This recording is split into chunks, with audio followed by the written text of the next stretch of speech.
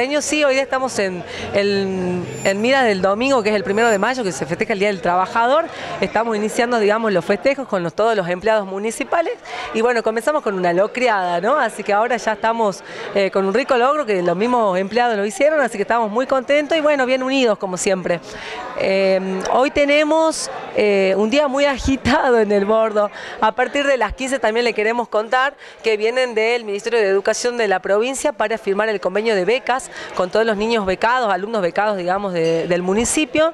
Y vamos a continuar a partir de las 16 con los festejos por el Día del Animal.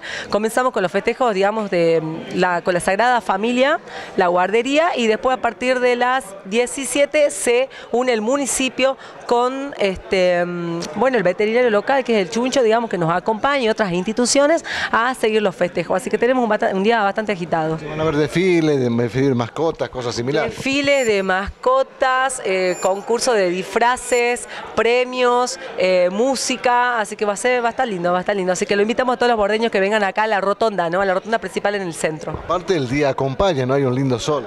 El día acompaña y bueno, ya que estamos aquí acordándonos de todas las actividades, esta mañana le queremos contar que se presentaron en el municipio también eh, representantes de la Universidad Católica de Salta, donde tuvimos una visita en el, en el Sauce, en la casona del Sauce, donde estamos este, viendo, digamos, todo el patrimonio que tiene el Valle de San, que sobre todo el Sauce y el departamento y el Güemes, digamos, para revalorizar, digamos, toda la parte histórica del departamento, ¿no? Así que bastante actividades tuvimos hoy.